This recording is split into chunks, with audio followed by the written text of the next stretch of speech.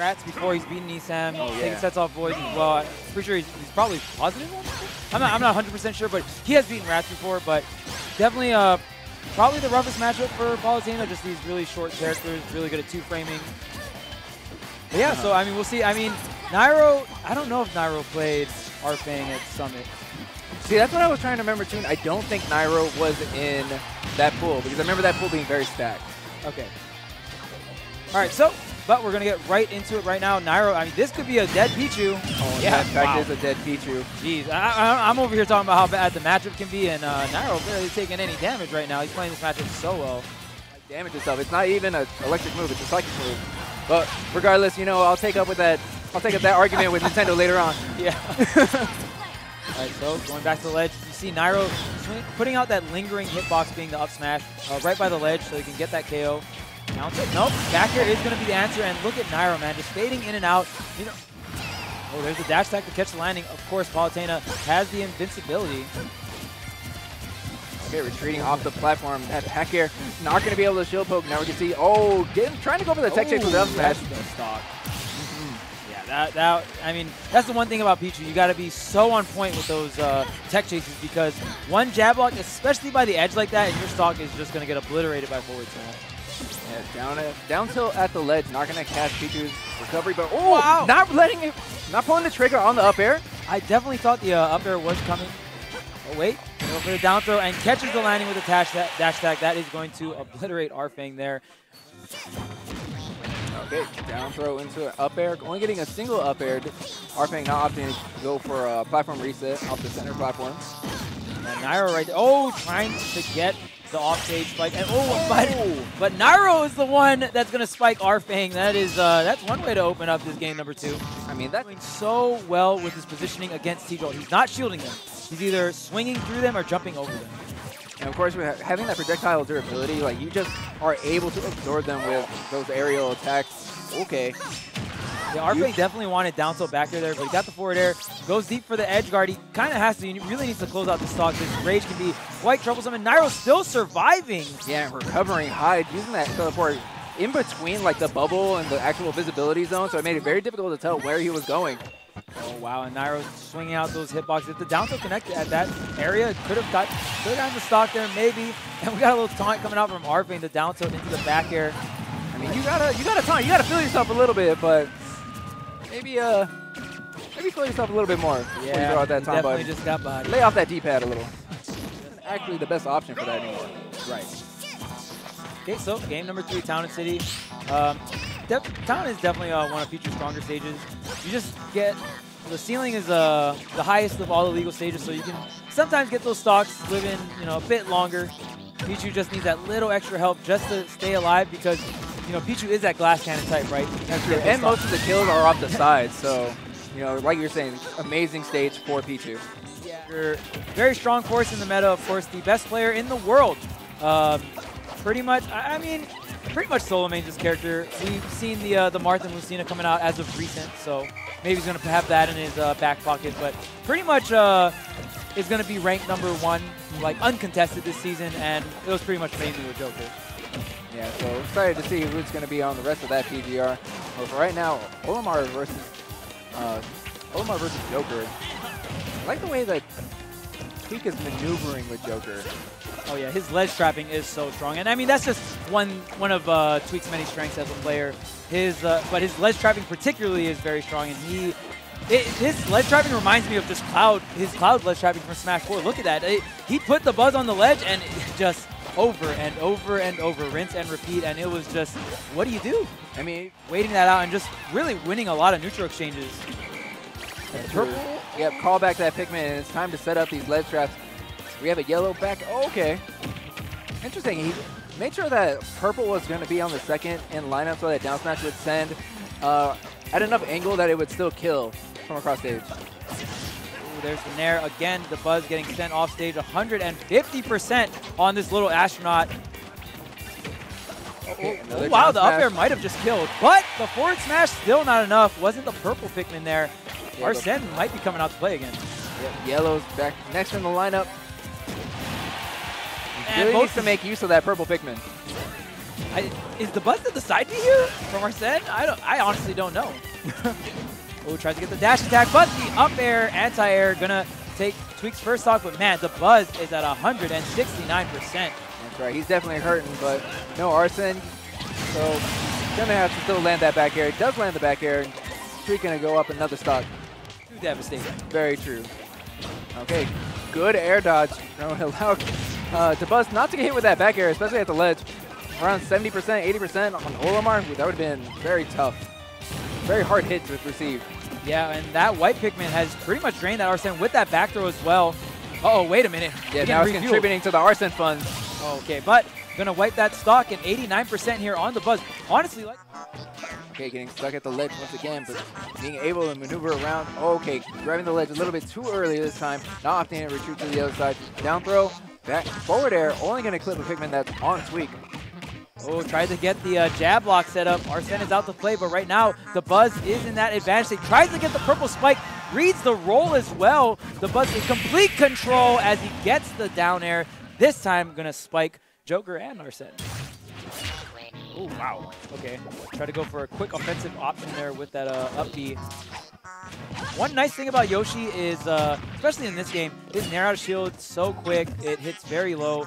Oh, okay, gonna have the double jump, charge the F smash, try to get Mystery, maybe overshooting that uh, up B a little too high. Mm -hmm. Getting a slight punish, but Suarez starting off really great here. Another command grab. Oh, even go for the bomber, and it connects the at the optimal optimal height, too. Yeah, and we see how aggressive Suarez has to be. He doesn't want to give Mr. E that space to really abuse the disjoint uh, that is Lucina. So, and another thing I was trying to mention earlier is uh, the uh, Yoshi shield actually cannot get shield poked. Every other shield in the game shrinks when it gets uh, you know weakened, but Yoshi's shield just darkens. So uh, it's actually impossible to shield poke Yoshi. Wow. There's a there's a lot of situations where people get shield poked. Man, Suarez really running away with this lead. Already 72% on Mr. E's second stock here. That's True. Getting another command grab, putting a good amount of damage. Couple of up tilts. Double up there on the F tilt. And uh, in uh, in this game, it's that F tilt is so good. It's a combo starter now, leading to the, some up air chains. Tech chase? No, not gonna nail it. Suarez up smash that shield with the rage almost takes it. Wow! We went to the depths for that nair. I mean, uh, this, this, character definitely um, probably the least popular Spacey at top level, but um, has crazy combos. I mean, biggest weakness is that he's slow, but I think he's a great uh, character still. Yeah, but Wish is utilizing that speed uh, against him quite well, already putting 80%, 90% onto onto uh, our Falcon player. Yeah, Drew's still hanging in there, but man, only 13% uh, kind of similar to Tweek versus Dabuz that game one. There's dash attack. Juice flinging out this forward air, definitely one of Falco's uh, better moves.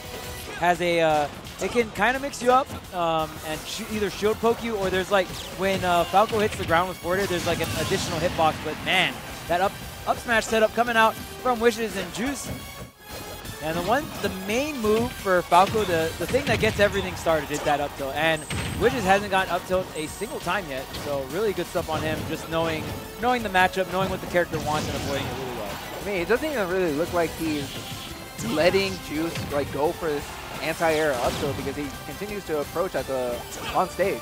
Oh, what? What even happened? Uh, so he lost Arsene oh. and grappling hooked him and the grappling hook stage spike juice because he wasn't ready because he was expecting the Arsene up beat. Yeah, and Dabuz, man, making it uh, very difficult. Wow, snatching up Mystery just that far of a distance. The charge up smash to be able to snatch that up. What's the offstage? No, going to off for the ledge trap here. Down tilt, going to get punished with a back air out of shield. I like that. Using utilizing Nair because Mystery like kept track of the Olimar or of the Pikmin order. Knew that the purple one wasn't in next in order. So Nair did in fact connect, it would just take it out. Just take out a Pikmin. Right now Dabuz is, wow, up B to approach with the purple Pikmin. Double purple though, that is the dream team. Double purple, insert anyone for the third one, it doesn't matter. The more purples, the better. Now we have double purple into red. Oh man, that shield is looking low, man. Purples will mess you up and mess that shield up as well. Getting a little bit extra range with the S smash from the red Pikmin. Yeah, and you saw him like double whistle too. So the, the script. yeah. Hold on. What the? I'm so. This isn't a button right check. Okay. Okay. Are you dead? Oh! No. Okay. Wait. It's Peachy. He's, he's back. Wow. Any other character though, that that, that probably would have been zero to fifty him though. Like that was clean. Wow, this, this Ice Climbers is clean. Yo, I, am actually like terrified of when the Ice Climbers come together and they start Yo, utilizing all of these things. What? He took 7%, okay. and that's it. Okay, Wishes Ice Climbers. Can we talk about it, T-Fly? This was the surprise pick of the tournament that I didn't see coming. And you can see, like, trying to go for the AI partner. I, I think it's Popo in this one? Yeah, it is Popo. Okay. Tread water the rest of the set, so I actually think the stage can help quite a bit here. I Nashville with the, the, extensions for Dabuz, just chaining him to the skies with up airs and up smashes was not a good look. Nah, for sure. Definitely having the bigger blast zones uh, to deal with oh are going to make things slightly easier for him. But Arfang, once again, eating a lot of damage in these oh early stages of the game. Like, want to gas a brother up, but he gets oh. hit by a oh. Pikmin, no tech, against the bottom of the stage and loses the first stock with only 11% on Dabuz. Definitely not how he wants to start it off, and uh, maybe he'll have to think about it. Yeah, can't gas the brother up if he ran out of gas. Know what I mean? Yeah, man. it's hard out here, man. The press is just going up. Go. That, there's one tool I haven't seen Arfang uh, utilize a lot of yet. Oh, what a great reversal from Dabuz. Forget everything I was just going to say. yeah, yeah. It's like, oh, man. Like, damn, man. Was trash day today? oh, let me escort you out real quick. Dabuz man. playing no games. Wow. Looking like 3 to 112. Two quick ones. Doing a really good job playing uh, with base Joker right here. Now has Arsene on deck, and this is where exactly you want to get uh, the big damage here. Oh, Lord. Oh, you know you wanted to go for that same setup we saw earlier, that down into the up smash, especially on that platform, with a for certain KO.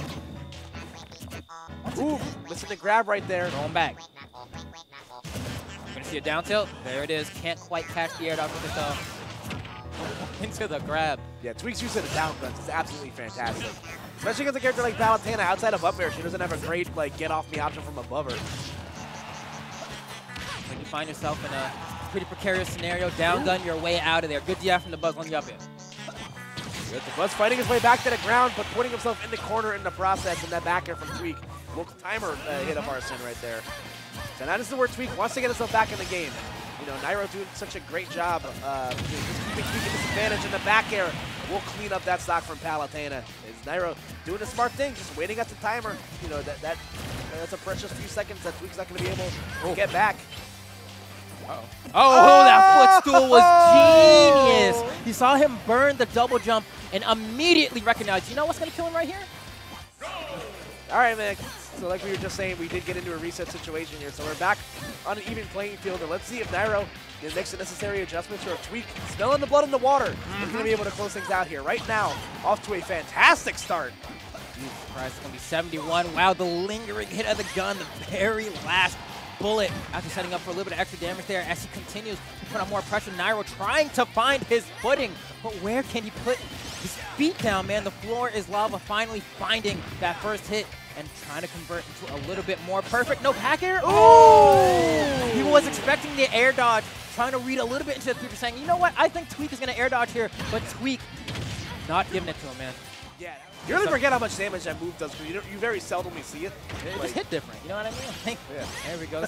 Beautiful conversion. Three, four hits in a row there coming out from Nairo. Oh, oh Nairo. That may have sealed the deal right there, too. But that could be the difference between Tweek having a chance to bring this to a game five and a complete slaughter from Nairo in this final game as he's on the verge of three-stocking tweak.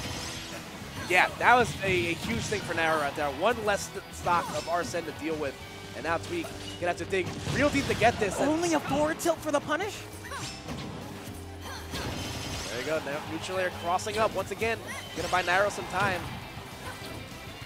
Oh, nice tech on the back air. Nairo is just one, well not one, but probably one or two good exchanges away from winning this entire tournament. Has Tweek.